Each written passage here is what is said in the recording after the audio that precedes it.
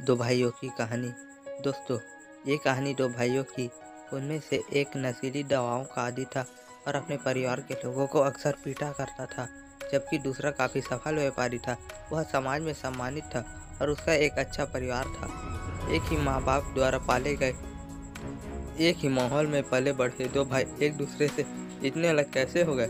पहले भाई से पूछा गया कि आप यह सब क्यों करते हो? आप नशीली दवाइयों के आदि हैं, शराबी हैं अपने परिवार के लोगों को पीटते हैं। आपको यह सब करने की प्रेरणा कहाँ से मिलती है? उसने जवाब दिया, मेरे पिता से वो नशीली दवाइयों के आते थे, शराबी थे और अपने परिवार के लोगों को हटी पीटा कर रहे थे। तो फिर आप मुझसे क्या बनने की उम्मीद करते हैं? उन्हीं वजहों से मैं ऐसा इंसान बन गया हूँ, जब दूसरे भाई से पूछा गया, आप सारे सही काम क्यों करते हैं? तो आपकी प्रेरणा का स्रोत क्या है? और ज़रा सोचिए, उसने क्या कहा? मैं जब छोटा था तो अपने पिताजी को शराब के नशे में धूप और सारे गलत काम करते हुए देखा करता था।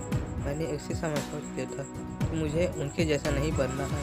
दोनों भाई एक ही स्रोत से प्रेरणा हासिल कर रहे थे, लेकिन एक ने उसका इस्तेमाल सही ढंग से किया और दूसरा गलत ढंग से कर रहा था।